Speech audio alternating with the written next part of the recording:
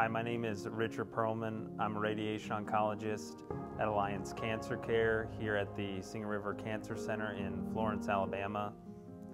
Today I'm going to talk to you a little bit about what IGRT is, or Image Guided Radiation Therapy. Image Guided Radiation Therapy is a way in which we use imaging to accurately set up patients for their treatments each day. This can come in several different forms.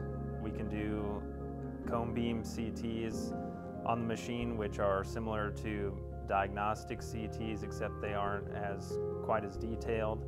We can also do other imaging such as uh, x-rays, which can help us see the bony anatomy well and align to different bones.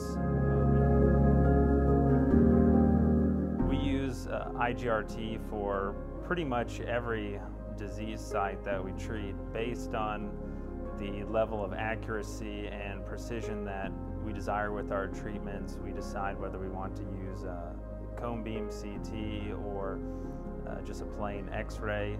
Uh, it depends on whether we're treating a bony target or a soft tissue target and exactly how, how accurate we want to be with, with our treatment, how we decide which imaging we'll use.